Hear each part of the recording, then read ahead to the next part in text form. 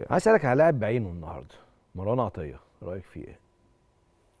بص أنا أنا يعني مروان عطيه من اللعيبه المميزين ومن اللعيبه اللي عندها آه، مستقبل مع النادي الاهلي. لكن أنا ما بحبش اتسرع في الحكم على اللعيبه اللي جاية النادي الاهلي. ودي يمكن حاجة آه، يعني أنا أنا دايما كده. اللعيبه النادي الاهلي لازم احكم عليه بعد فتره عشان يبقى عنده استمرارية. سواء بيلعب أو ما بيلعبش خلي بالك. يعني أنا برضو مش مع افترض ان إن مروان جه وما كانش بيتحط في التشكيل.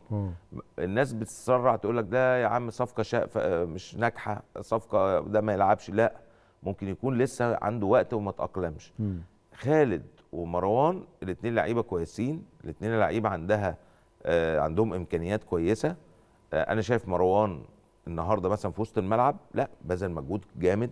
عنده معدلات قطع كورة كويسة جدا بيقطع يعني destroyer صح. لعيب destroyer في وسط الملعب آه آه وبيسلم الكرة كويس. وبيسلم طبعا كويس بالكره بشكل كويس بس أنا عندي حاجة برضو إن الاستمرارية مهمة جدا. صح. استمرارية مع لعيبة النادي الأهلي مهمة جدا. صح. لأن في لعيبة كتيره يا كريم. اول ما تيجي تدي power جامد جدا. power جامد قوي. وبتاع وكم ماتش وبعدين يعتقد إن الدنيا كده بقت خلاص تمام فل بقى أنا خلاص أنا بقيت إيه بقيت في الحتة دي. يعني الجمهور ينسى لك كل ده. تبص تلاقي. الدنيا بدأت تسحب من إيه من تحت رجله يعني. صح.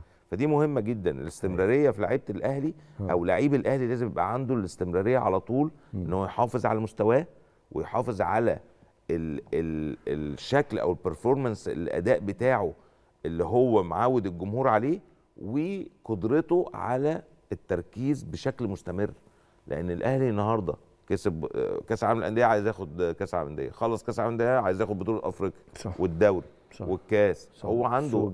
آه، لازم لازم عنده رغبة وشغف إن هو يكسب كل البطولات طيب